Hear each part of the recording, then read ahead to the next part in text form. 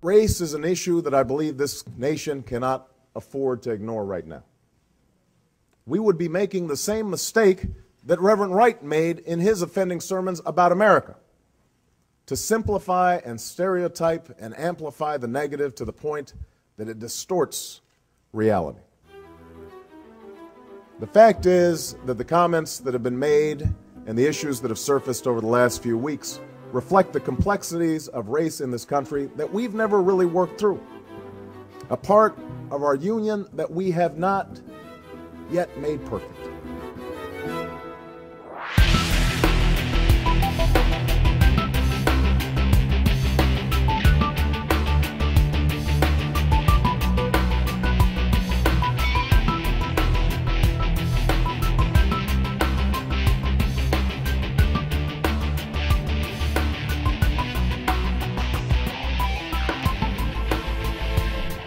I agree with Senator Obama. It is time for America to have a conversation about race. I can't think of another issue facing our country that is more timely or more important today than the issue of racism. I also can't think of another issue that is more artificial, manufactured, and manipulated than this whole construct called racism. You see, I've grown suspicious of the term itself and of people who use it frequently.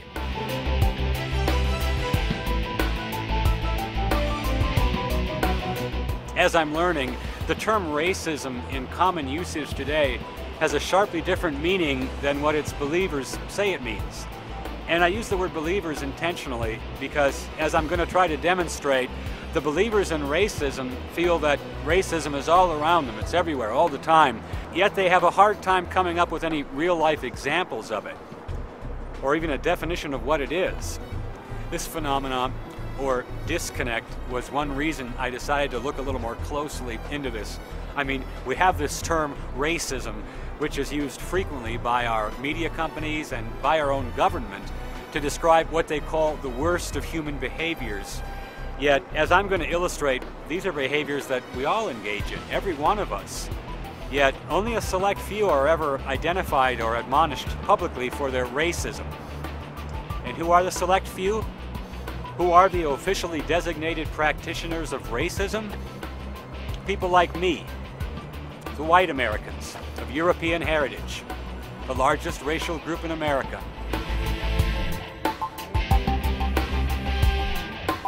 And this is what I'm going to demonstrate. This construct of racism is not an objective term. It has no concise definition. In fact, it's used too often as a tool of intimidation, like a hammer against Caucasian whites. And so for my demonstration, I'm simply going to interview some of racism's believers and look for inconsistencies. And finding believers is easy. I ran an ad in Craigslist for interview subjects under the heading of Ending Racism Now. We'll also stop at a busy street corner in downtown Denver and stop random passersby for their opinions on the subject. From there, I think we'll be able to determine what the conventional wisdom on racism really is, glaring contradictions and all. So those are my intentions. I'm not trying to make anyone look foolish, but the conventional wisdom on racism is so convoluted today that sometimes it's unavoidable.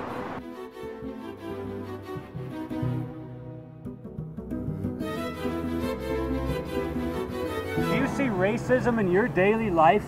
Every day. Every day. Every day. Do I see racism in my life? Um, I see it every day.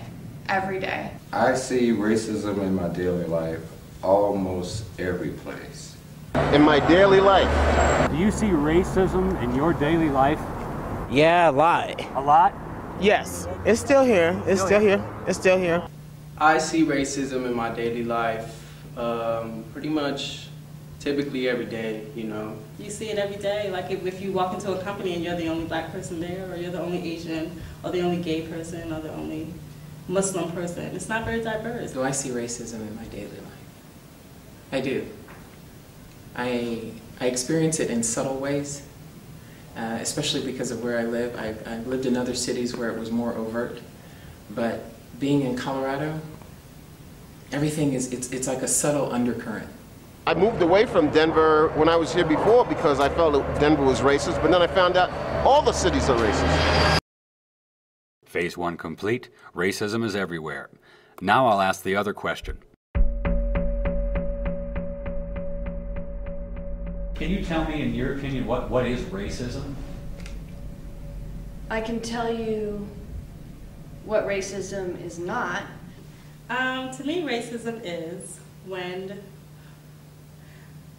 I don't. Uh, it's so hard. Racism is when we chop ourselves into categories, um, and I'm not sure why we do that because when you really look at the quantum level or the basic fabric of the universe, there is no separation. You know, I am you, I am the chair, I am the wall, I'm the rug, I'm the rock, I'm the tree, I'm the grass, I'm everything. My definition of racism deals with, with ignorance and lack of knowledge, lack of, uh, lack of tolerance, lack of, and putting, it's, it's as if saying, once we put a boundary, you and I can no longer communicate.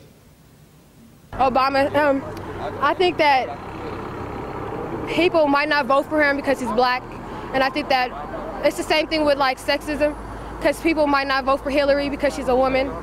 I see that as, as racism when, when you look at a person and because of what you've been taught and what you, you know from your family, what you, what's been ingrained into your psyche, that's where your ideas of racism come from. It's the racial profiling. It's that we have so many people of color, men of color in particular, in prisons.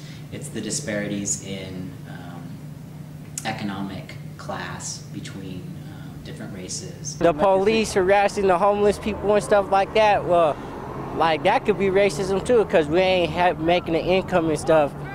But don't, don't they have to be a different race from the police for it to be racism? No, it don't. Racism could be anything. Like he could, I could be racist against him per se. He could be gay and I could be straight. That's still racism. So that's racism to you? Yeah.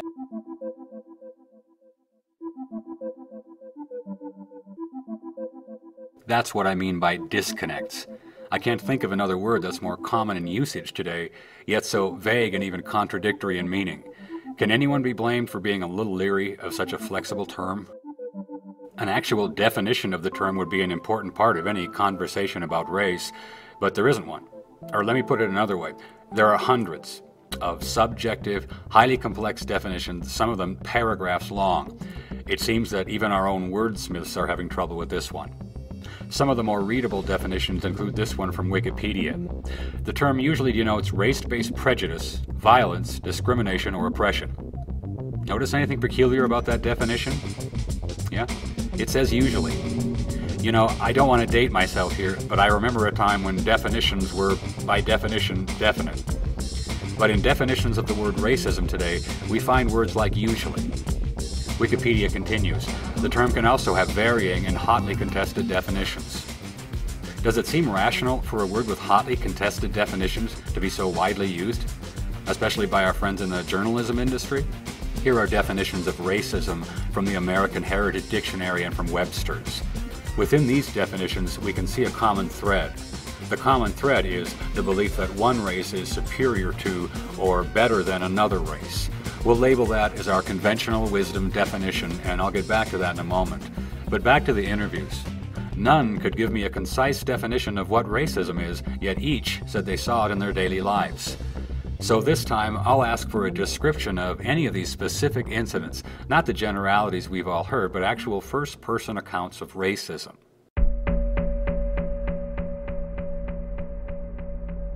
Ooh, example. Ooh, man. example.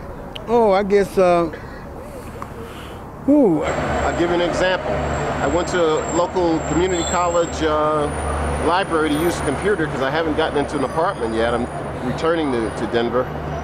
And uh, I noticed that, that one of the guys that worked in the library, he's staring at me. He's pretending he's going to get coffee, but he's staring at me while I'm using the computer. So then when I, I leave, he, and uh, one of the other librarians, they, they say to me, well, goodbye now. Like, it, it, it gave me the impression they were saying, like, good riddance now. I take the light rail to school every day. And um, maybe a like black person was being loud. And my automatic thought is to think, you know, black people, they're so loud. You know, or black people this or black people that. And it's wrong. And I, I realize it right away, but it's just the culture that I grew up in, this white culture, and um, racist culture that we live in, it's just bound to get you in one way or another. For example, um, I see how my friends have to struggle, my friends who are people of color have to struggle with um, just getting through the day and dealing with the people that are in their lives or at stores who are giving them a hard time. Say you have a white person come in, they'll greet the white person, and then a black person walks in, and they'll get on you and ask you, is there something I can help you with? Can I find you something? Can I interest you in something? They'll pay more closer attention to the black person. Sometimes if, if I go in the store, I've seen women like snatch their purse from one side of their arm and put it on the other side and look at me with a tight face, you know, so it's kind of hilarious, you know, knowing the kind of person I am, but then to see that reaction from other people, and sometimes it hurts. I mean, when you get a hateful reaction out of people that you don't even know, you know it's racism. At least I do. I live in Lakewood. Uh, pretty, pretty white. And so when I occasionally see black people walking down the street, I don't feel any fear, or certainly not. I don't think of that. I just think, oh, there goes a black person. I mean, it's just because it's odd, because it's unusual. Um, so I think that's, in a way, a kind of racism. If I'm at work and I'm talking on the phone with someone and I'm talking with, with a coworker who is not black or whatever, they say, oh yes, sister, I understand what you're saying. And it's like, why would you, are you saying that to me because I'm black? Would you say that if you were talking to like an Asian person? One example is there are uh, more people, like let's take the job, job sites for instance. Okay, if you got 10 black people going for a job, I say maybe two will get considered for that job versus five white people. And that means any job? Any job. I have a vivid recollection of being in a, in a ski lift line, teenager, and you know, people are talking back and forth, and uh, I made what I thought was a curious comment, and these, this family who was in front of me, the father turned around, looked at me, and as soon as he looked at me and realized that I wasn't just like him, he just sort of like his face froze. Everything just and, and then the whole family just nobody nobody everybody stopped laughing because it was obviously immediately not funny. Sure, when I was a child, um, I came up to a water fountain, and the teacher, I put my lips to the water fountain, and the teacher said, "Lane, don't do that. Black people do that." So there I am. I'm a young lieutenant in the army. I just got through digging a foxhole with a black lieutenant and we just dug really deep and it's hot and we're sweating and we're tired and I take my canteen and I open it and I take a drink. He takes his canteen out and it's empty. Now that's a crisis. What are you going to do? Yeah. And you look at this individual next to you who's now your comrade at arms and is going to fight and bleed for your country with you and you got the same blisters but he's completely different. And you look at him and he's got much larger lips, and you and there's a message in your head that says his lips are dirty because he might have sucked on a water fountain. What the shit is that? And you look at him and you make a decision. Right then and there, you say, is he my brother in arms or is he black? Which decision did you make? I handed him my canteen. And he knew because he was from South Carolina. And he looked at me and he said, you want me to use the canteen cup? Because he knows. And I said, no, you're my comrade in arms. And he drank, and he licked his lips before he drank because his lips were dry. And he handed it back to me, and he watched me. And I looked at him, and I drank. And you swapped spit with him? In essence, we swapped spit.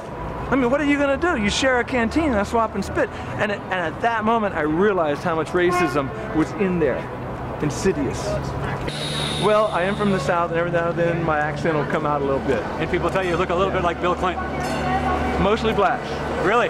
Give me an example of the type of racism you see. Um, yeah, for one, when you um, in a car accident or you, or you go to court, you're sometimes you're just overpowered because you're white, and there's no no help for a black.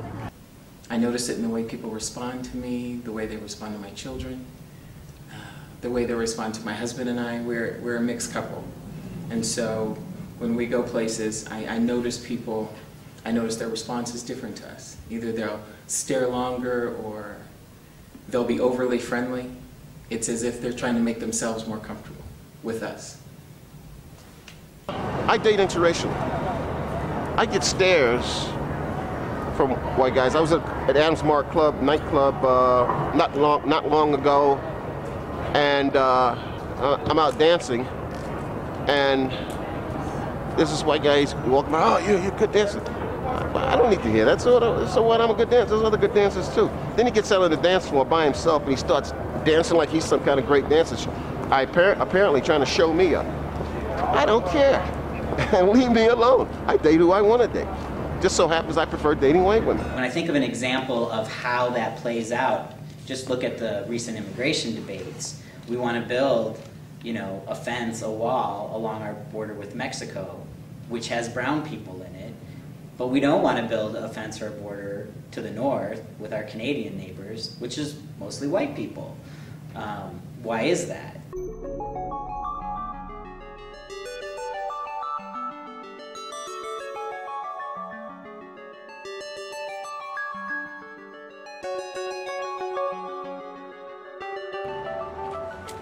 So when I asked people who said they saw racism in their daily lives to give me an example of it, two couldn't. Ooh, example. Ooh, man. Sometimes you're just overpowered because you're white. Four automatically switch to generalities. Just getting through the day and dealing with the people that are in their lives. Let's take job job sites for instance. They'll pay more closer attention to the black person. But we don't want to build a fence or a border to the north with our Canadian neighbors, which is mostly white people. But the rest did. Here are their examples. I noticed that, that one of the guys that worked in the library, he's staring at me. He's pretending he's going to get coffee, but he's staring at me while I'm using the computer. So then when I, I leave, he, he and uh, one of the other librarians, they, they say to me, well, goodbye now. Like, it, it, it gave me the impression they were saying, like, good riddance now. And my automatic thought was to think, you know, black people, they're so loud. I've seen women like snatch their purse from one side of their arm and put it on the other side. I just think, oh, there goes a black person. I'm talking with, with a coworker who is not black or whatever. They say, oh, yes, sister, I understand what you're saying. The father turned around, looked at me, and as soon as he looked at me and realized that I wasn't just like him, he just sort of like, his face froze, everything just, and, and then the whole family just, nobody, nobody, everybody stopped laughing. I date interracial. I get stares from white guys. This is white guys walking by, oh, you, you good dancer. I don't need to hear that. So, uh, so what? I'm a good dancer. There's other good dancers too. I came up to a water fountain, and the teacher, I put my lip to the water fountain, and the teacher said, Lane, don't do that. Black people do that. I noticed their response is different to us. Either they'll stare longer or they'll be overly friendly. These are the 15 best examples I was given. I haven't hidden any coherent examples just to help make my point. And I have to mention again that these examples are given by people of all races who claim to see racism in their daily lives. Well, I hate to have to be the one to point this out, but all of these examples of this so-called racism that permeates our nation, none of them really amount to anything. Can staring at someone really be compared with persecution? Can being overly friendly to someone really be compared with denying them employment? And when I become aware of disconnects like this, I start to look for others. What other inconsistencies are hiding behind this word, this hammer called racism? If we go back to our conventional wisdom definition of racism, we see that a racist is someone that believes that one race is better than another.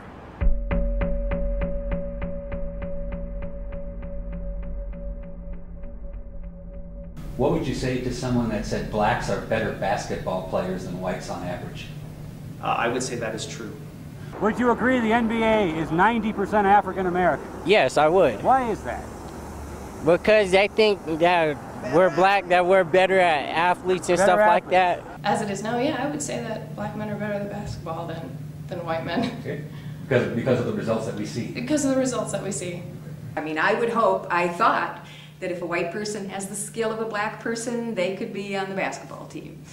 Um, I'm not that well acquainted with it in terms of the, the racial, how, how it's occurred that the racial makeup of basketball teams is as such as it is. I have always believed it probably had to do with their skill of the game. Well, that wasn't too hard. Most people have no problem with saying that blacks are better at basketball than whites, even though that does fit that common thread among definitions of racism. See the disconnect? So I guess it's okay to say that one race is better at something than another as long as the one race is never white people. And if you think I'm kidding or maybe paranoid, let's see how many people would be willing to state that white people may be just as skillful in other areas as blacks are at basketball. Are black people overrepresented in basketball? Yeah, I think they are. Why? They're probably better players. Is it safe to say then that the white people might be better at human relations? No. Do I think um, um, white, more white, or there are areas where white people excel and it's due to their skill and that's why more white people are in those areas?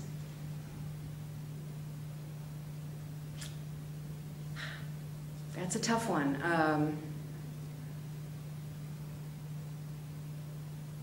I- think it could be true, but I don't know what the areas would be. Are white men better at keeping jobs and paying bills than black men? Now that just opens up a whole bag of tricks. That that just throws in socioeconomic status, racism, culture, everything. Now, the point I'm going to notice, Tina, was that when I asked you if black men were better at basketball, you gave me a, basically a one-word answer with a couple of qualifiers. Right. If I asked if men are better holding down a job, I got three paragraphs. Right. Can you see maybe a different standard that you, that you assign to blacks versus you assign to the whites? No. No? No. Even though you gave me a yes, blacks are better because of the evidence. Mhm. But whites, even though the evidence shows they're better at this, we've got to, we've got to back up and we've got to really Mhm. consider this more. Yeah. You don't call, consider that any kind of a double standard at all? No. I wouldn't call it a double standard at all.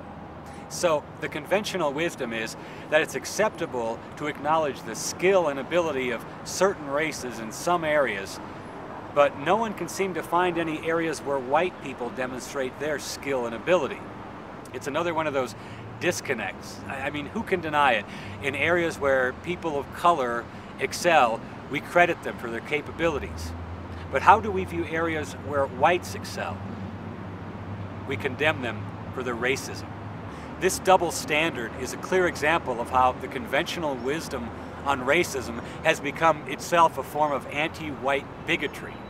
And I'll demonstrate this by asking about an area where white people do well.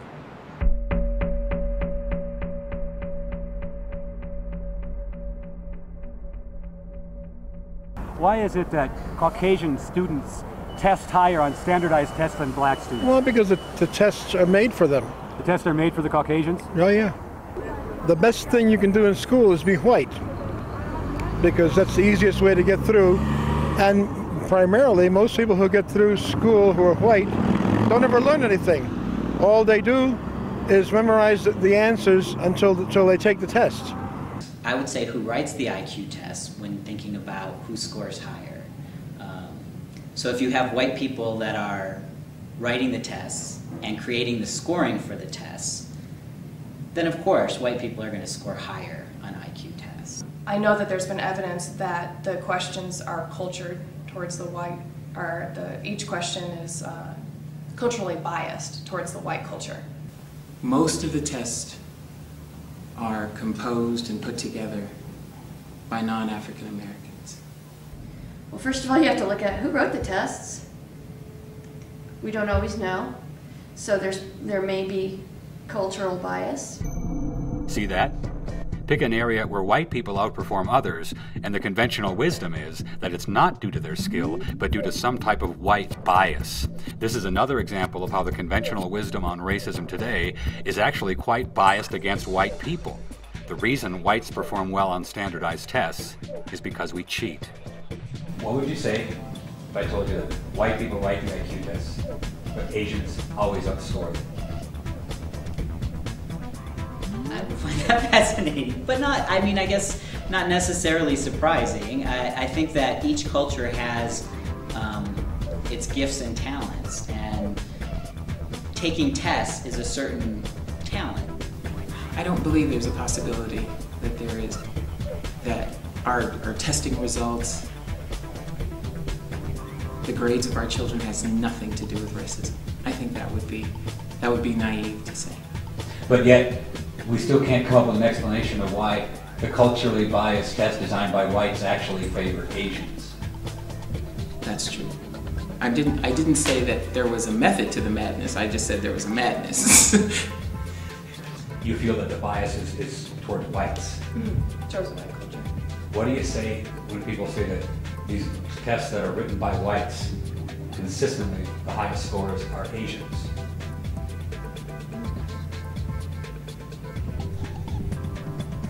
I guess I don't know that statistic. My first guess for the reasons why Asians do better, and from what I've studied, that um, questions tend to be culture toward or culture towards you know the white culture, or bias towards white culture is that um, similarities in teaching style. Um, uh, that would be my probably my best guess. But even if there are similarities in teaching styles, wouldn't the whites, they're culturally biased towards the whites, if they were culturally biased towards the whites, wouldn't the whites still be the ones exceeding?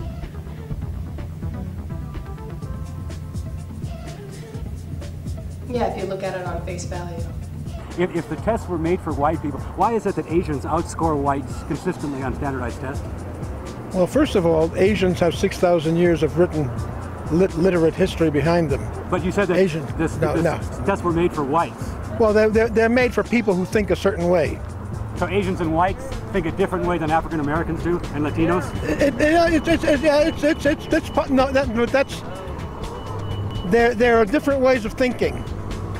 Different populations represent th- those ways of thought and cultural uh, congruences different ways. I'm trying to get back to my original point. You said that the tests were created for whites. I said that Asians outscore them, and you said the reason why is why. Well, I, I don't think we have time to cover that right now. This is the unchallenged, disconnected outlook that passes for logic in many of the mainstream of our culture today. If you ask today's believers in racism why it is that whites outscore some others on standardized tests, the most common answer will be the cultural bias theory. Now, if you're rude enough to point out that the fact that Asians have been outscoring whites for decades discredits the whole cultural bias theory, well, believers won't be bothered by pesky facts. Ask them again tomorrow the same question about why whites outscore others on standardized tests, and the answer will still be cultural bias. And this illustrates the dogmatic nature of the believers. I just can't accept this logic anymore. So I'm going to ask some more questions about racism. But what I'm looking for are more of these disconnects.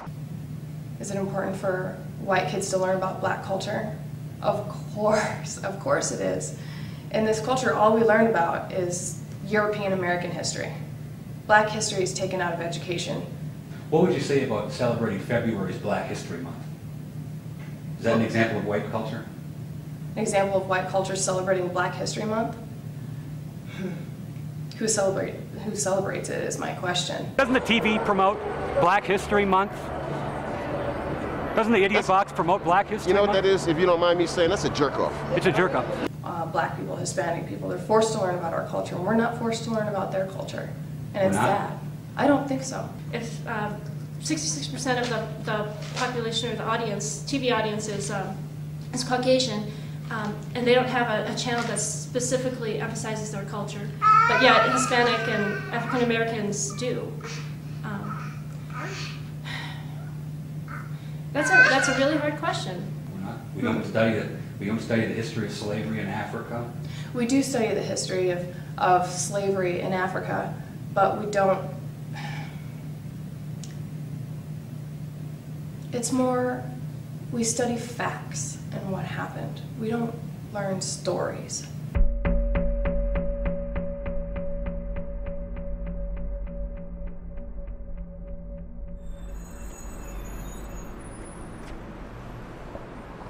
And with all this racism that permeates our country today, I thought it would be easy for people to come up with the name of a public figure who was racist. It wasn't.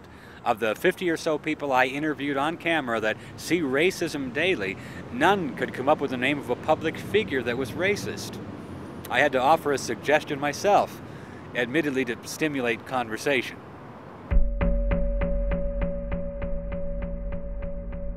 I would say Jesse Jackson is not um, a racist at all. He fights against racism. He fights for peace. He wants justice, and he tries to do what he can to bring together that justice and peace. And he wants people to be united as well. As far as, far as Reverend Jesse Jackson using racism as profit, I, you know, like I say, he's a man, you know, a good man, and he has done some things that you know we probably aren't proud of, but he sticks by what he does. Do I think Jesse Jackson is a racist? I guess I don't. I guess I don't. I think he's an advocate for black people, and I was going to say his people, um, and that that's an important role. But I've never thought of him as a racist. So you said that being an advocate for his people, for black people, is a good thing. I do think that. Can you name an advocate for white people? Um, can I name an advocate for white people?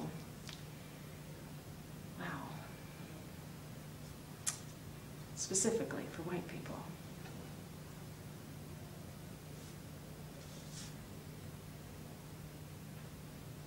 Catch that? Being an advocate for one's racial group is an important role as long as one's racial group is not white people. The very idea of being an advocate for white people is offensive, mostly to those calling others racists.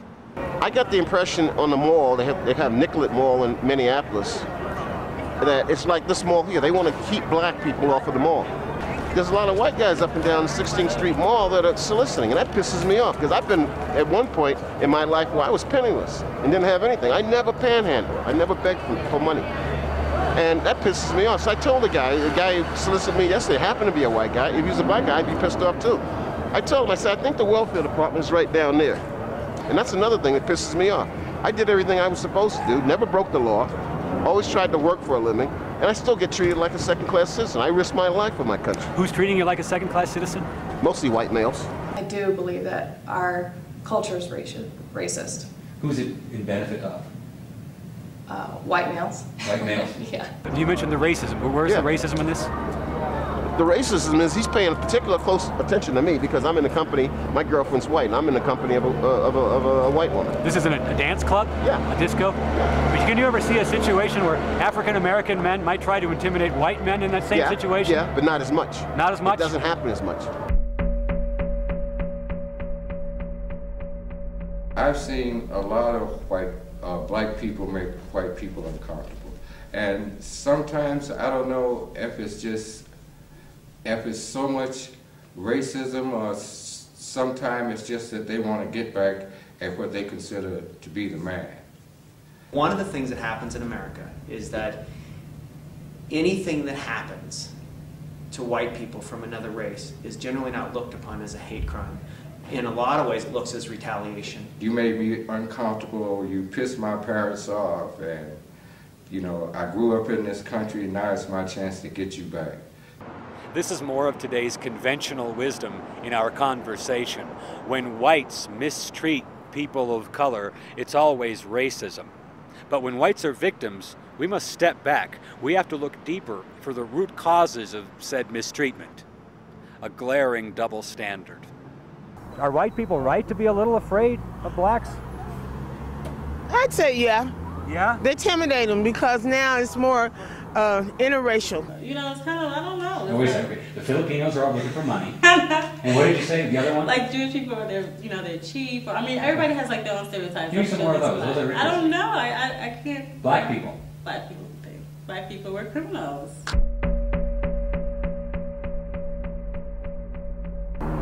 Um, that's a hard question. Um, I don't know. I don't have an answer for that one, actually. If I to hear someone say African Americans are committing more crimes than whites, I would not be offended because it's true. I see it on the news. Um, when you turn on the news, it's mainly an African American who intruded a home, went did a drive-by shooting, gang-related drug bust. So that's all you see pretty much is African American crimes. So no, I would not be offended, but I would I would agree. If you're thinking of a, of a black person and the stereotype you, you, you've ingrained in your head is this, you know, this person is, is maybe a criminal. Why do African Americans get the bad rep? Because we do the most crucial stuff right here. We're just like on that point where like, if we want to do something, we'll do it and not think twice about it and just go out there and do it again and again or do it even more worse than we did before.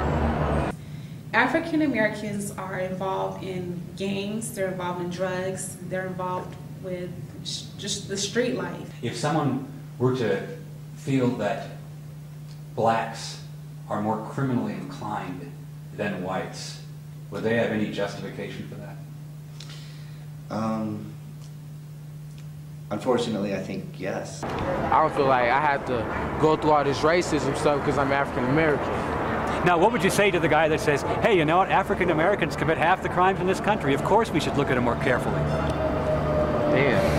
I mean, we do some crime around here, but I'm not going to say we do half of the crime. Yeah, African Americans are like that, but it's not all African Americans around here doing all the crime like that. You know, there's all sorts of other ethnicities that do all that. If you were a taxpayer, I was a taxpayer, and you heard about somebody breaking into a house, how would you feel if you saw the cops beating them down? On, on some real shit, uh, I probably, I don't know. I probably try to see, try to tell them take that to the courts, cause I, I don't see how they gonna beat somebody up. Yeah, they broke into a house, they was in the wrong doing, but at that same point, you can't just beat somebody up because they broke into a house. How about if they broke into your house? If they broke into my house, I'm, I'm, I promise, I'll kill them motherfuckers. Now, what would you say to the guy that says you're making the definition of a criminal? Well, I already know I'm a criminal. I've been locked up since I was 11. But so, but you say the cops are racist, but yet you're saying you're a criminal.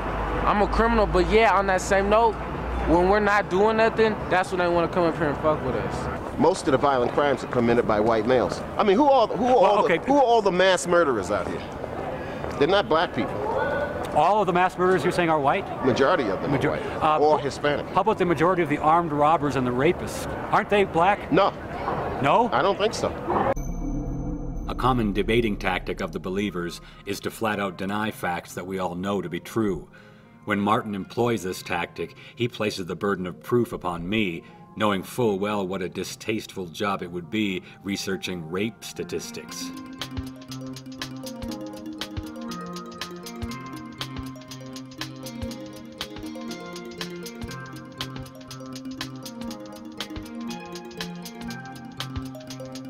This shocking fact is one of many not reported to the American public. We're bombarded with messages telling us that racism is evil. But if selecting people for discrimination based on their skin color is racism, and it's a bad thing, well, isn't selecting people for rape because of their skin color also a bad thing? In fact, isn't it a much worse thing? And that's quite another disconnect. In other words, the conventional wisdom on racism says that I should be concerned when I hear that somewhere a white person might be persecuting someone because of their skin color. I should make it my business. Yet, God forbid that I become concerned when I hear that white women are being raped because of their skin color a hundred times a day, right now in America. Well, we know what happens to people concerned about those facts. They get stereotyped as haters, and their opinions have no place in the public forum. Are the contradictions starting to become visible? You mentioned, you used a term, people of color. So who are, who are not the people of color? well, I would say white people are not people of color. So you're saying that it's impossible for a black to be racist? Yes. How many of us would keep using this word, racism, if we found out that to a good many people it can only really mean one thing a bad white person?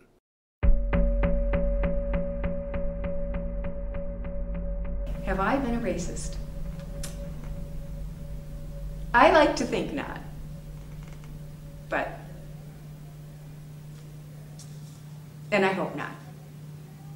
I think that all of us growing up in this culture and in this life are a little bit racist. Am I aware of my racism? Yeah. I'm aware of my racism.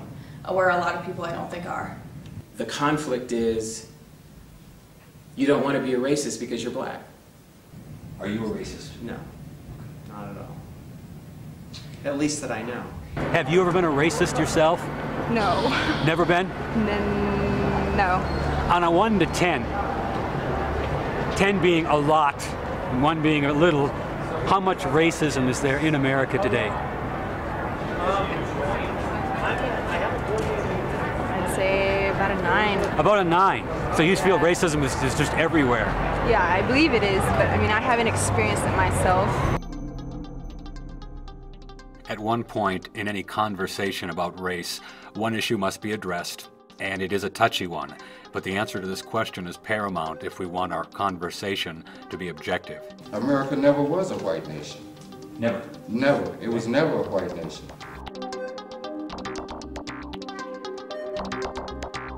If you want to get to whose country it was, it was the Native Americans. Caucasians came and took that land from them. Europeans. Europeans stole their land. Matter of fact, this isn't even their country. They came and took a country, you know, from from people that opened their arms to them with love, and they deceived them.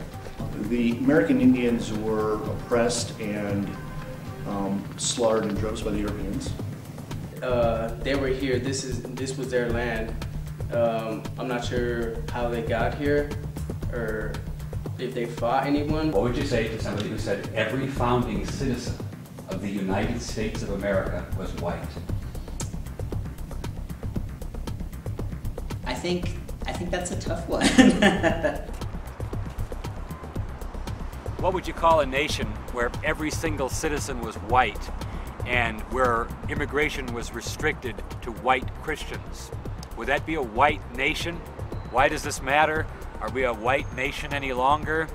Once again, because of the disconnect, because of the anti white bias that lies within the conventional wisdom on racism.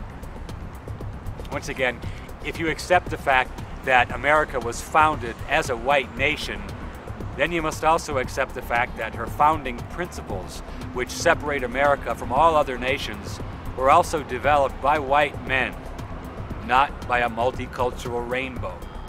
And this fact drives the believers crazy. You see, it's okay to blame whites as a race for fuzzy historical discriminations, but it's a cardinal sin to credit whites as a race with anything. Your fathers, forefathers came over and they did their dirty deed and took most of the land, deceived most of the people, and the rest they killed. Now, this is fascinating. Paul has absolutely no problem saying to my face, rather forcefully, that my forefathers came here and did their dirty deed.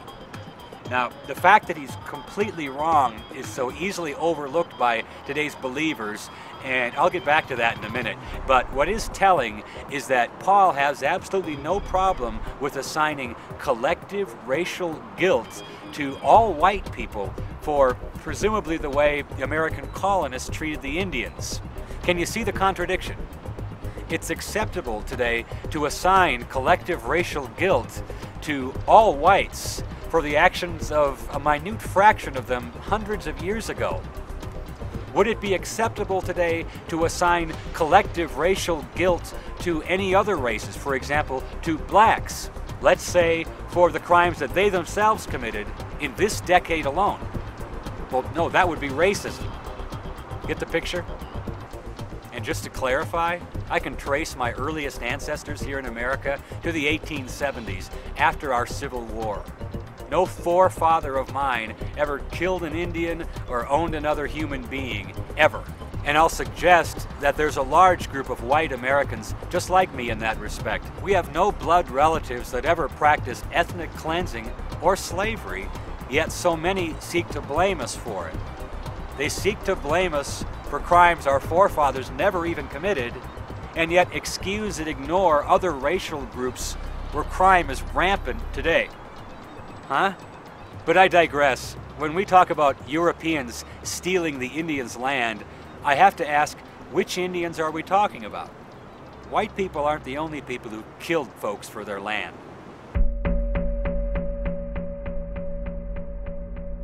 They didn't fight among each other, tribes? Oh, um, uh, amongst each other, yes. Did they ever try to wipe out whole other tribes? I'm pretty sure they did.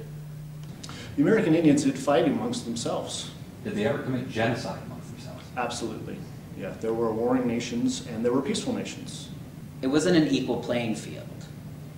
Um, and what, what I mean by that is so when the Indians were conflicting with each other, when the tribes were conflicting with each other, they had similar ways of fighting each other bows and arrows, spears, fighting, rocks, you know, whatever. And then white folks came across and they had different types of technology. Do I think that Indians killed each other for land before they arrived? I believe that yes, that the different tribes fought back and forth. Um,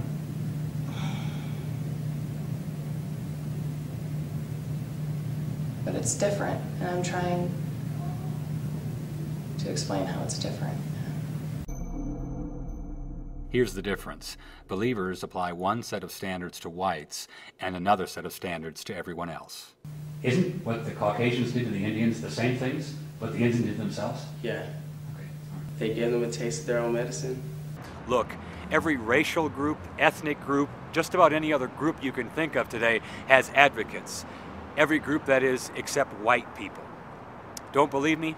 Go to any university today and count the classes and approved organizations dedicated to the advancement of specific races or ethnic groups.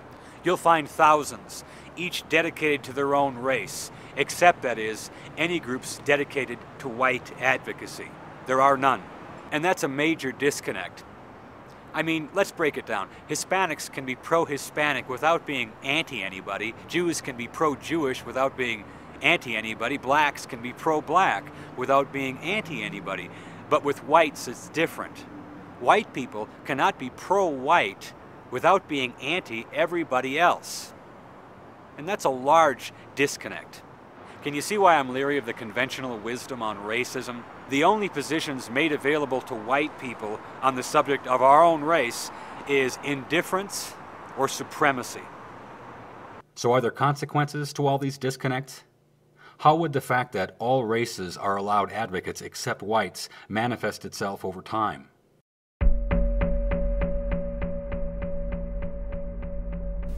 Do I think white people will become a minority? I, when I say that, I include particularly the Hispanic population. And yet I'm not, they're really, as I understand it, that's not really a race. Um, so when we talk technically race, that's wrong. It's just that they are, Hispanic people are a protected class. Do I think white nationalists have a point in saying enough is enough when whites are now at 66%, when our founding fathers were at 100%? I guess I don't. I, I, I don't think they have a point. I don't appreciate those organizations. But to some extent, I guess I can uh, appreciate maybe their people's sense of loss. But in fact, white folks are starting to be a minority now. You think white people like that? Yeah, but see, like, seem like it's more Mexicans than white folks out here. Just maybe someday it just means a completely blended group of people uh, that nobody will be able to figure out what anybody is anymore. Is that a good thing? Uh, I think that's a great thing. I think um, we are yellowing America and everybody's blending, and that, you know, I think that's a good thing. That's what it is. It's so many different races and uh, races and so many different backgrounds, and it, it's a good thing, you know, something that people should accept. It's, it's not like everybody's from England, or everybody's from Germany, or everybody's from France. This is a melting pot. It's 2008 now, you know, it's time for change. America isn't just, you know, the stereotypical um, Caucasian family or this and that. It's, it's, it's what, um, uh, mixing bowl?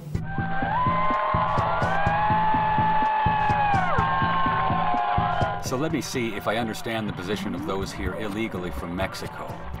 Although most belong to no one race, many unite under the banner of La Raza, or the race, in order to accuse Americans of racism. That just doesn't make any sense at all.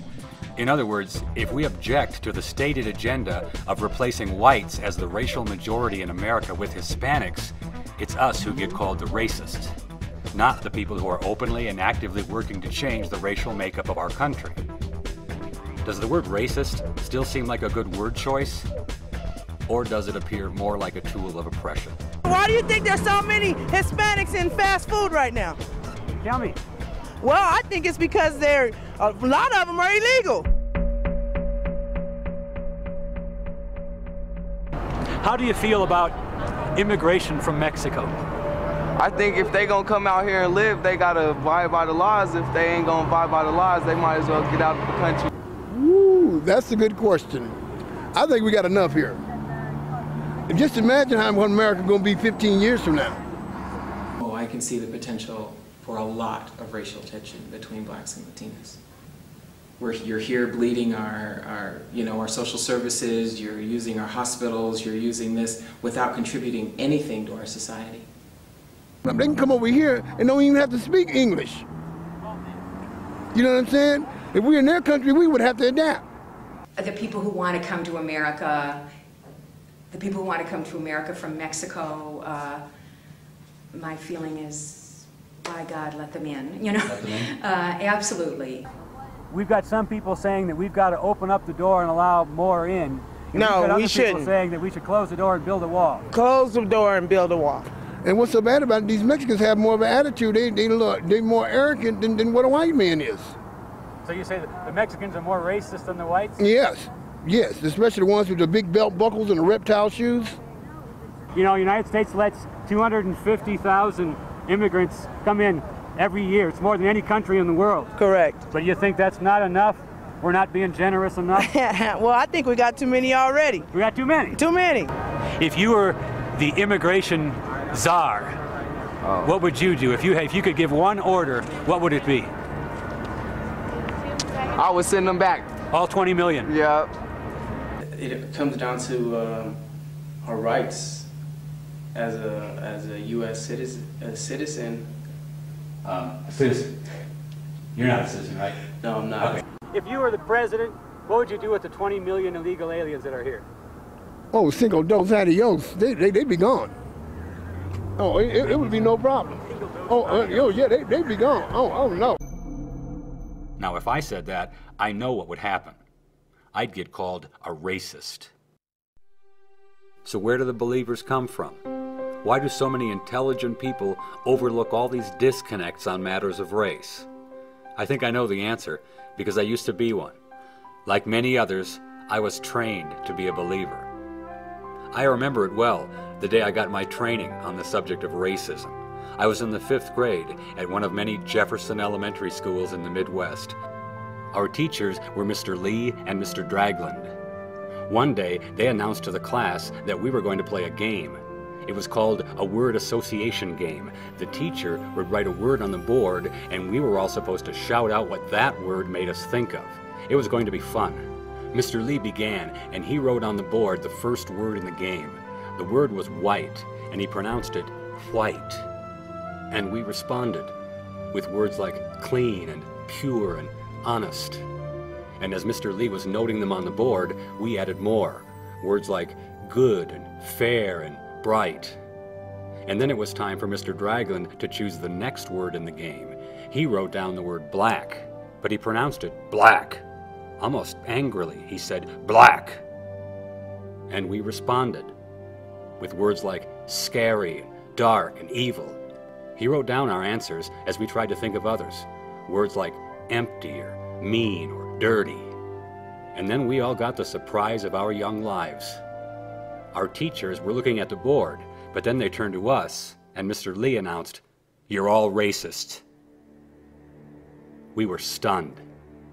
When one of the kids challenged them, he said, I'm not a racist. I remember Mr. Lee saying something pretty close to, These are you kids' words, not ours. And frankly, we're both disgusted with all of you. The game had obviously ended. The classroom was silent, except for a couple of kids quietly crying. And for the rest of the day, and for the first time ever, we all got the silent treatment from Mr. Lee and Mr. Dragland. They were disgusted with our racism, and I never felt more ashamed of myself. And from that moment, I swore that I would change. From that day forward, I would believe that I am, by nature, a racist. So I ask you now, what is real? I mean, if racism were a real issue, then why do public school teachers have to trick children into believing in it? It makes you wonder, what is real? Do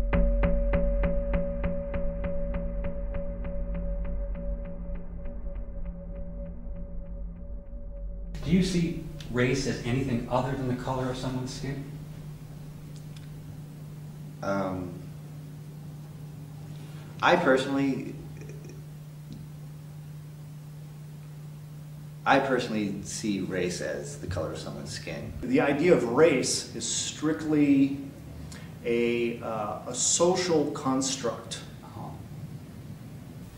Oh, it's just it's it's just a distasteful subject altogether to be making judgments or even observations about humans regarding their their flesh tone or their or their body shape. Scientists have came through and proved that we are all the same. So are you suggesting then that race is more of a social construct? Oh, absolutely. So here's some more of that conventional wisdom regarding matters of race. The fact that the different races share between 90 to 98% of their DNA is accepted as proof that the races themselves are not real, but rather a social construct.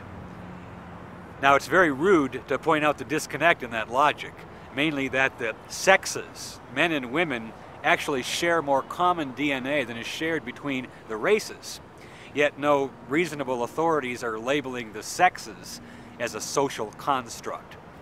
In fact, the best example of a social construct I can think of is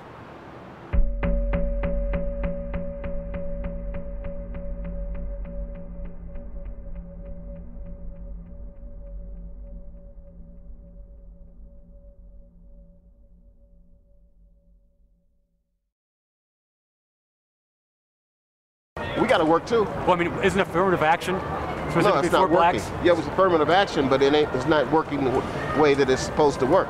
They, they hire a black female and say, yeah, we hired a, a minority and we hired a female.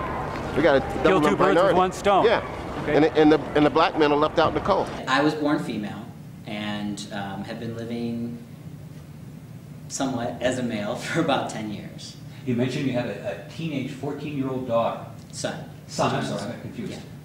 Biological? Yes. So I gave birth to him before I transitioned. For example, a city like New Orleans or Chicago, some people will call them black cities. Mhm. Uh, they overwhelmingly vote for black politicians. Yeah. Is that evidence of their racism?